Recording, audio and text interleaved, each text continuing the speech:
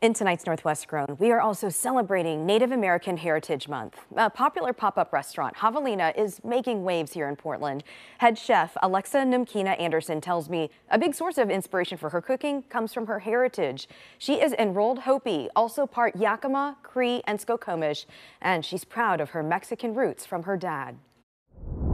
So I feel like every single time that I'm making a dish or sharing this food, it's like my own act of rebellion of I'm here, I exist against the better nature of whatever people tried to do. Bold food from the kitchen of a chef who is proud to share how her identity is reflected in her cooking. Head chef and owner of Javelina, Alexa Numkena Anderson. For some diners who stop into her pop up restaurant, it's their first time tasting and learning about the Native American dish fry bread. That's pretty traditional to like something that you'd find at powwows or for like fundraisers on the reservation.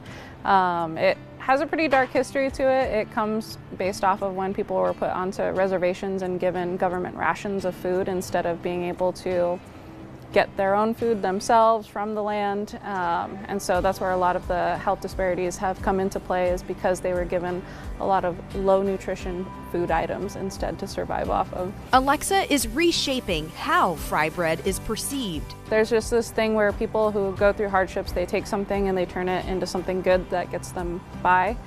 Um, fry bread has been one of those things, and so now it's like a comforting thing. The Javelina menu offers a plain fry bread or a fry bread taco that has bean and bison chili, tomato, sour cream, lettuce, and shredded cheese. Do you have an early memory of fry bread and how comforting it is for you too? Yeah, it all reminds me of my grandma. Um, there was this one time we had my grandpa Paul visiting. Uh, in our culture, my grandma's brothers and sisters are also my grandmas and grandpas.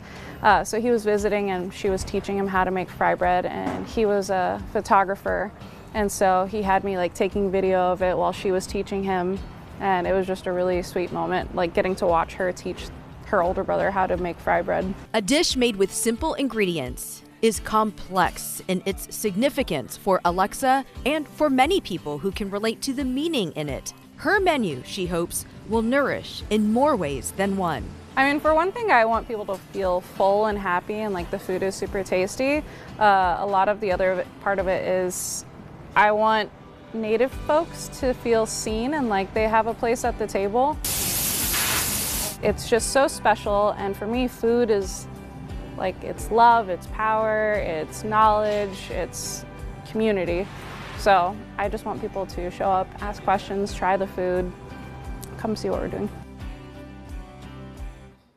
Well, Alexa plans to have a brick and mortar within two years. She tells me somewhere on Portland's east side is where she envisions it. And she already knows it would also be a place for other Native events to happen, as well as a teaching kitchen.